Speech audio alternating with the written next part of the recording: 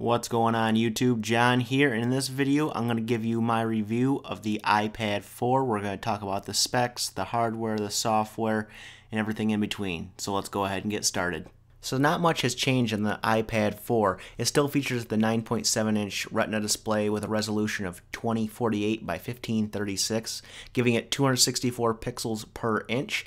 They have upgraded the processor inside. It features a dual-core A6X processor with quad-core graphics. So you're going to get twice the graphics performance on the iPad 4.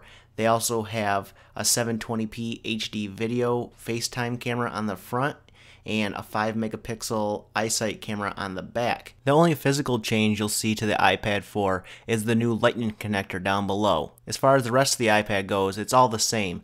On the right hand side you have your volume rocker with your either rotation lock or mute switch. On the top you have your power button and below that on the back you have your 5 megapixel iSight camera. Then up top you also have your headphone jack. As far as the software goes on the iPad 4, it's running the newest version of iOS, iOS 6.0, and there's no problems with it at all. It still runs it smooth as it did before on the iPad 3, and there was no lag issues at all. And as far as the graphics performance, gaming wise, as you can see in the video, I'm playing Real Racing 2 here. There's no issues with gaming. The graphics make it really nice and smooth, and I really couldn't even tell a difference between the graphics on the iPad 4 from the iPad 3. So my final thoughts on the iPad 4 are that it's an incremental upgrade from the iPad 3. If you have the iPad 3, you don't want to run out and go out and buy the iPad 4. I couldn't tell a difference between the processor and the graphics from the iPad 3 to the iPad 4.